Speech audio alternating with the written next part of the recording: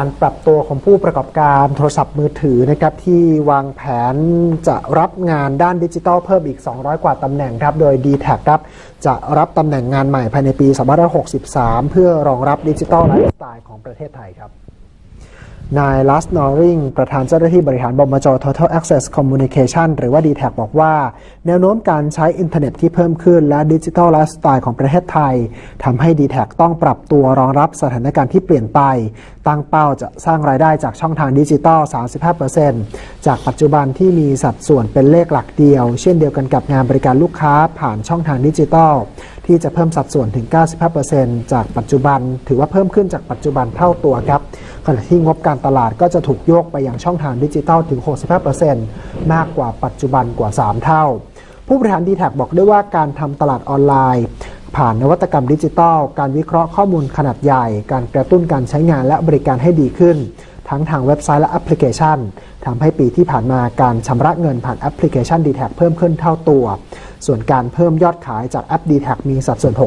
60%สะท้อนถึงความสำคัญในการพัฒนาช่องทางดิจิทัลให้ดีขึ้น สอดคล้องกับแนวโน้มการใช้งานในอนาคตทำให้ d t แทต้องเพิ่มตำแหน่งงานดิจิทัลอีกกว่า 200ตำแหน่ง ในปี2563 ครับ ขณะเดียวกัน d t แทวางแผนจะปรับรูปแบบการจัดการในองค์กร และลดความยุ่งยากซับซ้อนในกระบวนการทำงาน เพื่อให้องค์กรขับเคลื่อนได้คล่องตัว และพนักงานมีศักยภาพในการทำงานมากขึ้น โดยตั้งเป้าจะบริหารขนาดขององค์กรให้มีตำแหน่งงานประจำโดยจำกัดจำนวนไว้ไม่เกิน 4,000 คนในปี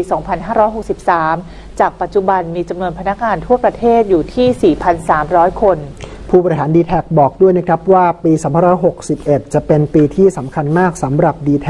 เพราะสัญญาสัมปทานคลื่นความถี่จะสิ้นสุดลง โดยบริษัทจะจัดหาคลื่นความถี่เพิ่มเติมเพื่อเพิ่มศักยภาพของโครงข่าย ในการให้บริการดิจิทัลที่ดีที่สุดให้กับลูกค้า ซึ่งบริษัทมีส่วนร่วมในการให้คำแนะนำแก่สำนักงาน คณะกรรมการกิจการกระจายเสียง กิจการโทรทัศน์ และกิจการโทรคมนาคมแห่งชาติ หรือว่ากสทช และภาครัฐ ในการจัดประมูลคลื่นความถี่จากสัญญาสัมปทานที่จะหมดลงขณะเดียวกันบริษัทจะลงทุนในโครงข่ายอย่างต่อเนื่อง เพื่อรองรับการเติบโตอย่างรวดเร็วของการให้บริการข้อมูลตั้งเป้าว่าในปี 2563 จะพัฒนาองค์กรให้เป็นแบรนด์ดิจิทัลอันดับที่ 1 ในประเทศไทยครับ